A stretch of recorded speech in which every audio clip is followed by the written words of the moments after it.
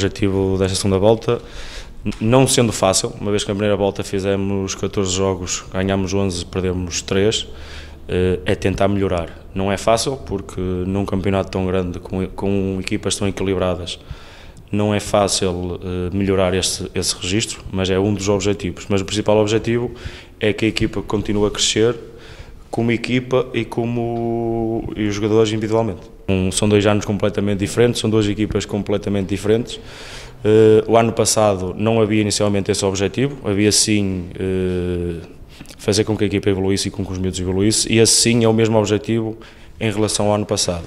Uh, este ano, a gente, uma vez fomos campeões do ano passado, queremos fazer com que a equipa cresça coletivamente e individualmente. Se for possível associar a isso o campeonato distrital, muito bem. Se não, o mais importante mesmo é que a equipa cresça ao longo da época. Curiosamente, nós, nós treinamos, principalmente nisto da época e durante a semana, treinamos mais a nossa organização defensiva porque nós começámos a construir o nosso jogo desde trás. Eh, e o nosso jogo passa por um jogo de ter bola, de ter posse de bola, não deixar o, o, adversário ter bola. Logo, quando o adversário não tem bola, dificilmente nós sofremos golo e quando nós temos bola, estamos mais próximos de fazer golo. Uh, daí esses números.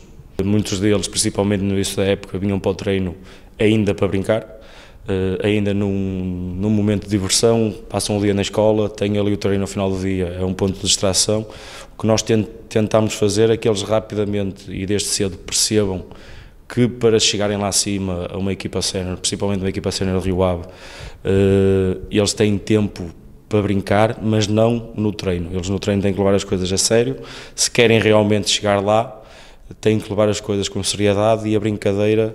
Há momentos no treino que dá para brincar, há outros momentos que, não dá. E penso que eles neste momento já, já sabem distinguir o momento de brincadeira e o momento de levar as coisas a sério e de treinar a sério.